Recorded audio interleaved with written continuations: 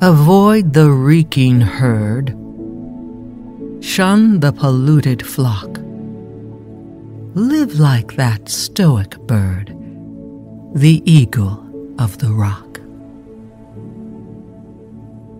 The huddled warmth of crowds begets and fosters hate.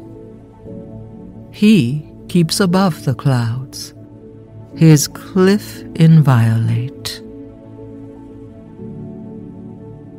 When flocks are folded warm, and herds to shelter run, he sails above the storm, he stares into the sun.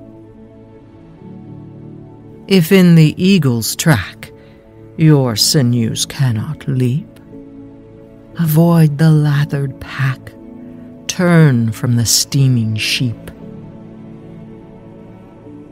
If you would keep your soul from spotted sight or sound, live like the velvet mole, go burrow underground.